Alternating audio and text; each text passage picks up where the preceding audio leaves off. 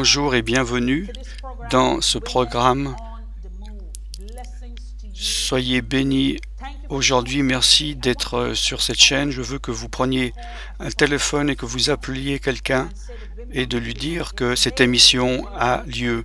Aujourd'hui, nous voyons les dangers d'être impliqué dans la magie, dans l'occultisme, dans la sorcellerie, dans les mauvais esprits. Aujourd'hui, j'ai avec moi un invité, l'évangéliste Alan Rich. Il est avec moi aujourd'hui et nous allons parler des dangers de la magie. Évangéliste Alan Rich, bienvenue dans cette émission. Tout d'abord, j'aimerais vous demander pourquoi est-ce que nous, en tant que chrétiens ou même les gens en général, ne devraient pas être impliqués dans la magie? Eh bien, je crois que quand nous sommes dans la magie, on est en train d'être impliqué avec des mauvais esprits. On peut d'abord peut-être expliquer ce qu'est la magie et l'occultisme, parce que beaucoup de gens ont une mauvaise euh, compréhension. On peut appeler l'occultisme, la magie, la sorcellerie. Et pour moi, le terme général est l'occultisme parce que ça veut dire quelque chose qui est caché. il y a beaucoup de gens qui sont impliqués dans des pratiques qui paraissent pas dangereuses, peut-être l'ésotérisme, le Wicca, la magie blanche, et ils disent euh, quel danger y a-t-il à faire de la magie blanche, d'invoquer un ange? Mais ils ne comprennent pas, ils ne connaissent pas la source. Et des gens peut-être vont leur enseigner de leur dire je t'ai donné le nom d'un ange, cela sera ton ange gardien. Simplement, tu lui demandes des choses et tu verras que des bonnes choses arrivent dans ta vie. Quelqu'un va venir me dire, j'ai un ange gardien, il m'a prévenu qu'il y aurait un accident, il m'a sauvé d'un accident. Donc vous voyez, ça prouve qu'il veut quelque chose de bien de moi. Alors maintenant, j'ai confiance en lui. Mais en fait, le diable, s'il te donne un cadeau, c'est un cadeau empoisonné c'est pour t'impliquer en lui. Parce que son but, c'est de te détruire, de te voler, de te tuer. Il ne te donnera jamais quelque chose gratuitement. Tu vas payer le prix fort. S'il te donne quelque chose, c'est pour t'accrocher, te mettre dans les chaînes. Alors je pense que beaucoup de personnes qui nous regardent aujourd'hui sur la magie sont intéressés, ils ne connaissent pas la source de leur pratique. Alors nous voulons leur révéler, les éduquer. Et d'abord que nous continuons, j'aimerais dire que c'est très bien d'avoir un talk show, mais on doit savoir ce que Dieu en dit.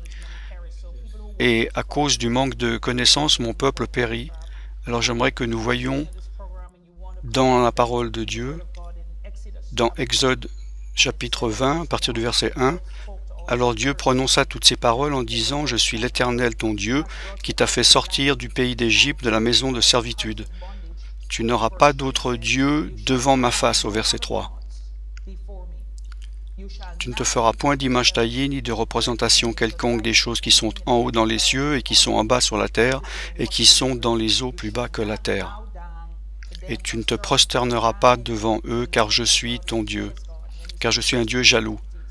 Et ensuite, il dit qu'il visite l'iniquité euh, jusqu'à quatre générations. Alors, dis-nous, dites-nous pourquoi c'est si important que Exode nous dit que nous devrions avoir un seul Dieu. Je crois, comme Paul a dit, les gens pensent qu'ils ont Dieu, mais il n'y a aucun autre Dieu. Il y a des esprits mauvais qui s'impersonnifie en Dieu. Et les gens pensent, par exemple dans l'hindouisme, où il y a plus de, il y a 300 millions de dieux, depuis le, morceau de bois, ils croient qu'il y a des avatars. Nous savons qu'ils ne sont pas des dieux, ils sont des esprits mauvais. Et la Bible dit que Satan, même lui, se déguise en ange de lumière. Et son but est de nous séduire et de nous détourner de Dieu. Donc quand nous sommes pas chrétiens, ils feront ce qu'ils peuvent pour que vous ne veniez pas à Jésus-Christ être délivré. Et quand vous êtes devenu chrétien, il fera tout ce qu'il peut de, faire que tu ne rentres pas dans ton héritage et ta délivrance et qu'il ait la victoire sur ta vie. Il veut nous rendre aveugles et que nous ne comprenions pas la puissance que nous avons en Jésus. Pour euh, les personnes qui nous regardent, j'aimerais dire que l'ennemi, il va mettre le péché dans un paquet, mais ce n'est pas un nouveau truc qu'il a, parce que le diable, la Bible dit qu'il est un menteur depuis le début. Dans Genèse, nous voyons que l'ennemi a essayé de séduire Ève pour faire manger le fruit interdit. Et lui a dit, vous serez comme des dieux. Tu, tu deviendras intelligent, puissant. Nous voyons depuis le début de la Bible que Satan pousse les êtres humains pour avoir plus de puissance. Dites-nous quelque chose par rapport à ça, parce que vous, votre passé, vous avez été impliqué dans euh, l'occultisme. Qu'est-ce qui vous a fait que vous vouliez connaître cette puissance que vous cherchiez? Pourquoi? Ben, Déjà à la base, j'avais des difficultés pour apprendre à l'école à cause d'attention, de dyslexie. Donc j'avais une très basse opinion de moi et je pensais que je n'étais pas capable d'être aussi intelligent que la moyenne des gens. Donc je me sentais inférieur aux autres. Je pensais être bon à rien dans cette vie. Je ne savais pas, je savais pas comment comprendre, travailler pour lire un livre. Et un jour, par hasard, j'ai commencé, comme un jeu, de faire de la transmission de pensée. Une fille m'a dit, tiens, qu'est-ce qu'on va faire ce soir? On va essayer. Je vais interrompre, c'est tellement essentiel ce que vous avez dit. Ça, c'est comme quelqu'un qui vient et qui va ouvrir une porte et ça, c'est pour vous, c'était le début, l'ouverture de la porte. Oui, tout à fait. Vous savez, le diable est malin. Je ne veux pas lui donner la gloire, hein, mais il a comme certaines, entre guillemets, qualités, et il est malin. Et si moi, je suis un prédateur, et je veux prendre un enfant dans la rue pour euh, le torturer, je ne vais pas venir avec une sale tête et lui dire viens dans ma voiture, je vais te tuer. Non, je vais venir avec euh, un sourire, je vais lui donner un petit bonbon, je vais être doux. Mais ma motivation est mauvaise et le diable fait comme ça. Et tellement de personnes, moi je vois avec ma ligne sur Internet, ils me disent, oui, toi tu as fait de la magie noire, mais moi je ne fais pas ça, je fais de la magie blanche et la magie blanche, Wicca, nous aimons tout le monde, nous faisons que du bien. C'est pour ça que ça s'appelle euh, la magie blanche. Mais, en fait, ils sont sous l'influence d'esprits mauvais et ne se rendent pas compte. Et ces esprits les aveuglent de la vérité. Et ces gens ne sont pas capables de comprendre et de voir qui est Jésus. Et ils sont incapables de voir qu'est-ce que la Bible, que la Bible est la parole de Dieu. La plupart des esprits les empêchent d'arriver à la vérité. Et la vérité, c'est Jésus-Christ. Donc, dans mon cas, cette fille qui m'a dit, OK, amusons-nous pour voir si ça existe, si on peut faire de la transmission de pensée. Comment est-ce que ça s'est passé après? Ben, À partir de là, j'ai vu que j'avais la puissance de divination, de voyance, pour connaître le futur. Ensuite, euh, moi, je voulais plus. J'étais content d'avoir de la puissance spirituelle plus que les autres. Alors, j'ai enfin trouvé quelque chose où j'étais meilleur que les autres. Parce que dans le puissant spirituel, je dis, je vais y aller et je vais avoir le plus que je peux. C'était bon pour mon ego. En, fait, ça vous a poussé, oui. Et je me suis dit, quelle puissance puis-je avoir? Je ne connaissais rien du tout, je ne lisais pas de livres, je ne connaissais rien concernant les choses spirituelles. Alors les esprits me donnaient directement des choses et m'enseignaient. J'ai eu l'ouverture du troisième œil, je voyais les esprits et les auras des gens, et un jour, un méchant, encore plus méchant euh, démon est venu. Vous savez, il y a différents niveaux. Je crois qu'il y a différents, beaucoup de chrétiens qui ont besoin d'être éduqués. Il y a beaucoup de gens dans ce monde, dans le monde qui vont nous regarder. C'est quoi le, troisième œil pour ceux qui ne savent pas? L'ouverture du troisième euh, œil, c'est la capacité spirituelle de voir le monde spirituel. Avec mes yeux physiques, je vois le monde physique. Mais avec ces yeux, je ne peux pas voir le, le monde spirituel. Si je veux voir, par exemple, des jolis poissons dans l'eau, je dois mettre euh, des, lunettes spéciales, sinon je, vois trouble. Et c'est la même chose avec ces yeux physiques, je ne peux pas voir le monde spirituel. Mais en, fait, autour de nous, là, il y a, le monde spirituel. Alors, j'ai reçu cette capacité. C'était, en fait, ce n'était pas un cadeau. Hein. Ça, c'est l'ouverture de l'ouverture du troisième œil. Alors parce que vous, aviez, vous étiez ouvert à ces choses, vous, vous aviez vraiment envie de plus de pouvoir. Quand est-ce que vous avez réalisé euh, de dire waouh maintenant je suis vraiment puissant? Alors quand cet mauvais esprit est venu et m'a dit, je vais vous donner un pouvoir plus puissant, j'ai dit, oui, qu'est-ce que tu veux me donner? Il m'a dit, je peux te donner la puissance de, te, euh, tuer des gens à distance, de jeter des sorts sans les toucher. Alors, peut-être quelqu'un normal dirait, oh non, c'est terrible, c'est immoral. Moi, j'ai dit, super. Je pensais que c'était une puissance vraiment immense, le pouvoir de la vie. J'étais aveuglé. Je voyais pour moi, c'était comme un jeu. Je voyais la puissance, je ne voyais pas les conséquences que j'allais faire du mal aux gens. Alors ils m'ont appris comment, et j'ai commencé à tuer un ami parce que je devais voir de mes propres yeux que ça marchait. J'avais besoin de voir des évidences. Oui, je voulais tester mon pouvoir. C'était un, bon gars. C'est pour ça que je l'ai éliminé, parce que je n'aimais pas les, les bonnes personnes. Je suis allé à ses funérailles et j'ai vu les vraies conséquences. J'ai vu que ses parents étaient là, qu'ils pleuraient, et je me suis dit, euh, ce n'est pas bien. Je me suis dit, la prochaine fois, je n'irai pas je n'irai pas aux funérailles de mes victimes. Ensuite, j'ai essayé de nouveau. Je voulais explorer. Alors j'ai dit, maintenant, je veux voir si je peux tuer des gens que je ne connais pas. Alors je l'ai fait avec des gens que je ne connais pas, et ça a aussi marché. Même quelqu'un devant moi est mort et se vidant de son sang petit à petit, je l'ai regardé.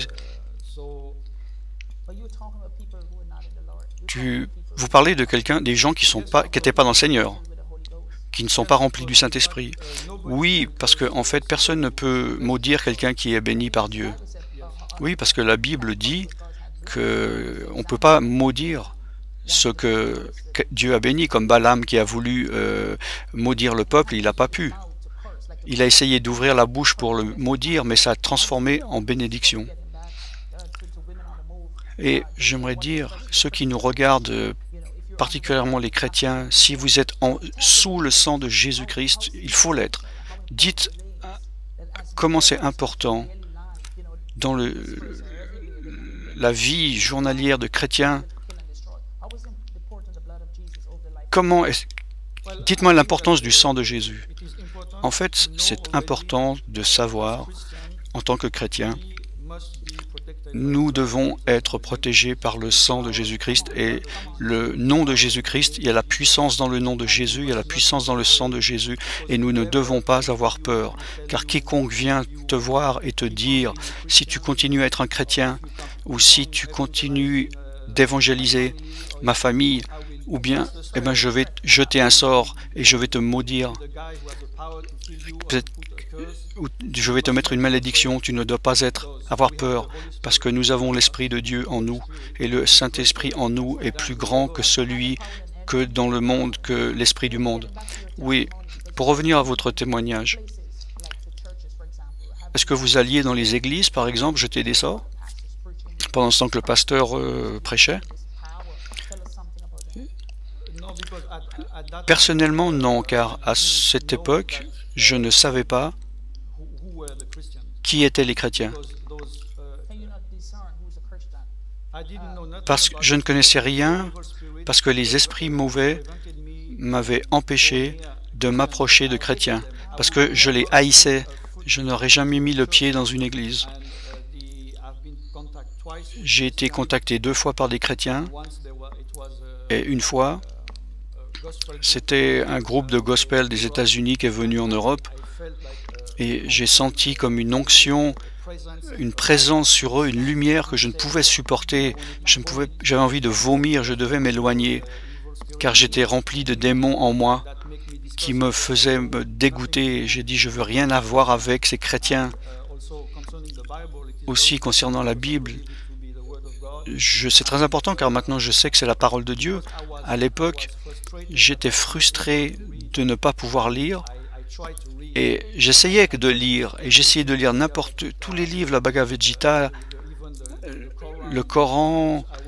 Je, voulais avoir de la connaissance, mais il y a un book que je n'aurais, un livre que j'aurais jamais lu, c'est la Bible, parce que les esprits mauvais en moi ne voulaient pas que je la lise.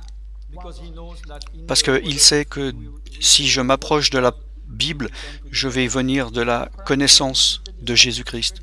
Oui, c'est la, voilà, c'est l'aveuglement des démons qui ne veulent pas qu'on arrive à la lumière. Alors dites-moi, vous avez dit euh, quand vous vouliez plus de puissance et vous, êtes, vous avez entendu un pasteur et vous avez vu l'aura puissante du pasteur, vous vouliez cette puissance, mais vous ne vouliez pas de Jésus.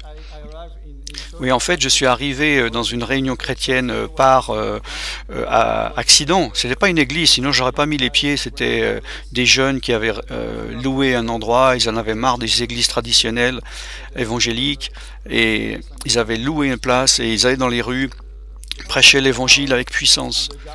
Et le gars avec qui je prenais des drogues m'a dit viens voir. Moi j'ai dit non jamais je mettrai les pieds là-dedans. Oui, le diable ne veut pas que vous mettiez un pied dans l'église. Alors, semaine après semaine, il m'a convaincu, il m'a donné des arguments. Il m'a dit Viens, c'est c'est plein de filles, euh, tu peux en choisir une, euh, la musique est bonne. J'en ai tellement eu marre, j'ai dit Ok, je viens une fois dans ma vie, et après, tu ne m'en parles plus jamais de ma vie. Alors, je venais, je regardais ma montre, je n'écoutais pas. Mais à un moment donné, euh, le prédicateur parlait, je ne comprenais rien de ce qu'il disait parce que c'était un jeune, mais il utilisait des mots tellement compliqués de la Bible, de curé, je comprenais rien, des mots que je comprenais pas. Mais à un moment donné, il parlait très fort, j'ai tourné la tête et j'ai vu son aura, son esprit, et son aura était tellement pur, était blanc, était puissant, et tellement énergique, alors qu'avant je voyais que des auras de couleur euh, euh, sombre, et là j'ai vu que c'était la puissance ultime. Même le diable connaît la puissance de, Dieu. Alors vous avez reconnu cette puissance. Oui, j'ai dit, moi je veux cette puissance. Alors au lieu de partir à la fin de la réunion, j'étais le voir et j'ai dit, quelle est ta puissance, d'où tu l'as eu, donne-la moi, comment me la transmettre? Il m'a parlé de Jésus, j'ai dit, non, je veux pas Jésus, je veux la puissance. Je ne savais pas que c'était la puissance de Dieu, mais je voulais cette puissance, car je savais qu'il n'y avait pas de, puissance plus grande que ça. C'était la puissance ultime. Alors là, nous allons bientôt euh, finir euh, le temps, dites-nous, dites-nous, pour ceux qui regardent l'émission, regardez à la caméra et dites-leur, les personnes qui ont été dans l'occultisme ou qui sont maintenant dans l'occultisme, regardez-les et mettez-les en, en attention. J'aimerais que vous sachiez qu'il n'y a pas de nom plus puissant et de puissance que le nom de Jésus-Christ, car il est bien au-dessus de toute puissance, de toute autorité de n'importe quelle puissance spirituelle, et c'est seulement Jésus-Christ qui peut vous délivrer. Ne vous tournez pas vers des sorciers, des marabouts. Si vous allez à l'église et vous avez demandé une bénédiction du pasteur ou une guérison, une restauration et rien n'est arrivé, ne disent pas maintenant ça n'a pas marché avec Jésus, lundi je vais aller avec des marabouts, avec des anges parce que vous allez être pire qu'avant et vous allez être dans des chaînes. Et vous devez être clair, si vous êtes impliqué et vous avez deux vies, une dans l'Église, une avec le diable, vous devez vous repentir aujourd'hui, demander pardon et arrêter de faire ces choses. Confessez-les et demandez à un homme de Dieu de prier pour vous parce que vous êtes impliqué et euh, lié avec des démons, vous avez besoin d'être délivré. Et seulement dans le nom de Jésus-Christ, vous pouvez être délivré, parce que les démons doivent, partir devant le nom de Jésus-Christ, et Jésus-Christ et le Saint-Esprit ne fuira jamais devant aucun autre nom. Alléluia, c'était très puissant. Il faut dire aux ceux qui nous regardent qu'il y a une seule puissance, c'est celui de Jésus-Christ. C'est la vérité, le chemin et la vie. Et Dieu a tellement aimé le monde qu'il a envoyé son Fils unique afin que quiconque euh, croit en lui ne périsse point, mais ait la vie éternelle. Et vous regardez ce programme, nous parlons de magie, et vous pouvez dire, Pasteur Sandra, comment est-ce que je peux avoir la vie éternelle? C'est très simple. C'est une simple prière. Vous dites une simple prière, Jésus, je suis un pécheur, je réalise que je n'ai pas Jésus-Christ dans ma vie et que si je, ne l'ai pas, je vais aller en enfer. Priez pour le recevoir et vous détourner de vos péchés et le recevoir en tant que sauveur et Seigneur. Si vous avez des questions par rapport à ces dangers, vous pouvez appeler aux lignes que vous allez voir ou envoyer un email pour avoir des renseignements. Je vous remercie d'avoir regardé ce programme et de nous avoir accueillis, Alan Rich et moi-même. Que Dieu vous bénisse, nous vous aimons. À très bientôt. Bye bye.